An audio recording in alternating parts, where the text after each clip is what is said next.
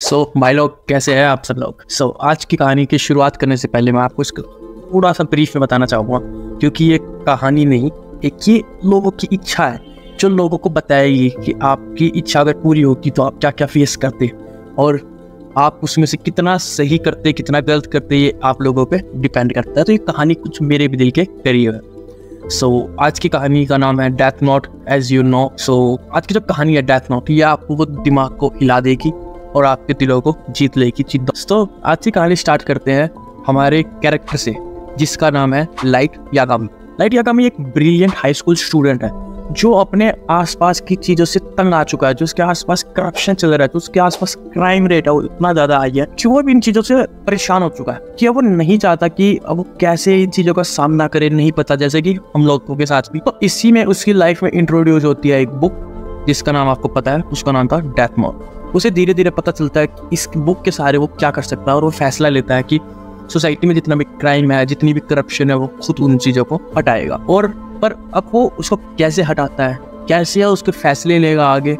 ये सारी चीज़ें हैं देखने वाली कुमारी। सो शुरू करते हैं यहाँ से। तो जैसे उसे पता चलता है कि डेथ नोट की मदद से वो जस्टिस ला सकता है तो धीरे धीरे धीरे धीरे लोगों के उसमें नाम लिखना स्टार्ट करता है। वो अपने वहाँ पे क्या इंटरनेट से, कहीं से भी अगर उसे उसका किसी भी क्रिमिनल का नाम पता चलता तो उसकी शक्ल देखता, मन में उसकी शक्ल सोचता उसका नाम लिखता और वो थोड़ी ही देर में हार्ट अटैक से मर जाता। एक बार तो समय ऐसा भी आया है कि उसने सौ सौ पचास पचास लोगों को एक साथ मारा। आप समझ रहे पर जब अगर कोई इतनी बड़ी एक्टिविटी करेगा तो किसी ना किसी का उस चीज़ पे दिमाग ज़रूर जाएगा।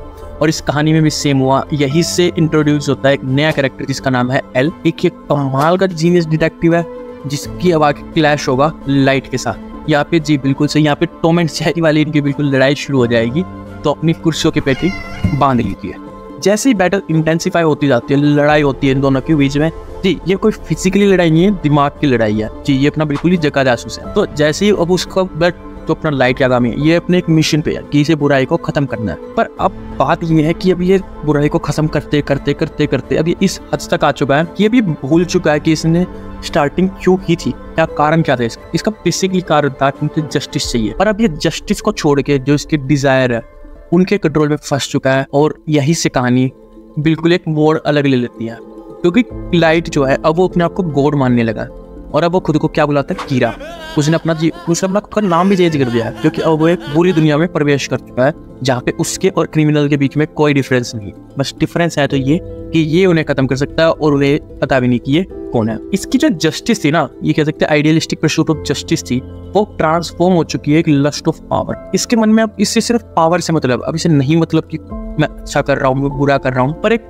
कहावत है power comes at a price जैसे ही नाइट अब अपनी हदों को भूल चुका है, अपनी हदों को पार कर चुका है तो उसी में उसके दोस्त के परिवार सब उससे दूर होते जा रहे हैं। जो भी उसके रास्ते में आता, उसे वो खत्म करता चला जाता, उसे नहीं फ़र्क पड़ रहा था वो सामने वाला कौन है, कौन इसी के बीच जो अपना चक्का जासूस यानी एल है, वो अपना दिमाग लगाता है और लाइट की आइडेंटिटी को एक्सपोज रिवील कर देता है दुनिया के सामने और लोगों को पता चल जाता है कि लाइट कीरा ही लाइट है और लाइट आगामी ही कीरा तो यहाँ के बाद जो हमारा वन प्रोमिसिंग स्टूडेंट था आप कुछ सोचिए स्टूडेंट जो इतने अच्छे लेवल पढ़ रहा है ब्रिलियंट हाई स्कूल का स्टूडेंट है, और वो खुद को एक डार्कनेस में खड़ा देखता है कि उसे नहीं समझ आ रहा कि वो क्या करे, क्या ना करे उससे मतलब है, सिर्फ़ और सिर्फ़ पावर्स तो ये जो कहानी है ना, ये कहानी आपकी थॉट प्रोवोकिंग जर्नी है। ये आपको बताएगी कि आपकी जो ह्यूमन साइक है, वो किस तरह से वर्क करती है पावर मिलने के बाद और पावर मिलने से पहले। ये जो आपकी मोरालिटी है पावर है, ये उन सभी पर क्वेश्चन खड़ा करती है कि उनकी हदें क्या है। Because everyone has its limitation और जब आप अपनी लिमिटेशन को भूल जाते हो अपने आप एब्सोल्यूट कंट्रोल को खो देते हो आप अपने को दूर कर देते हो अपने परिवार से अपने दोस्तों से तो वही पे आप और आपके बीच और क्रिमिनल के बीच में जो पतली लाइन होती है उसको आप क्रॉस कर देते हो। सो so, जैसे ही आप इस पूरी कहानी को सुनेंगे मैं जानता हूँ कि आपके पास नहीं होगा कि टाइम आप पूरे के पूरे एपिसोड देख पाए उनके देख पाए इसीलिए हम आपके लिए लेके आए हैं डेथ नॉट के एपिसोड बाय एपिसोड जितना हम आपको शॉर्ट और क्लियर कट समझा सके उसके लिए हम लेके आए हैं आपके लिए सीरीज़ जिसमें हम आपको एवरी एपिसोड एवरी सीज़न के बारे में बिल्कुल कहानियाँ बताएँगे। हमें नहीं चाहिए कि कोई लाखों या हज़ार लोग कमेंट करें, तब हम उसकी कहानी स्टोर करेंगे, नहीं। हाँ कोई एक भी अगर नीचे कमेंट कर दे कि we want this story and we want another story like any other like attack of titans any other so we will start right now thank you guys stay tune for more updates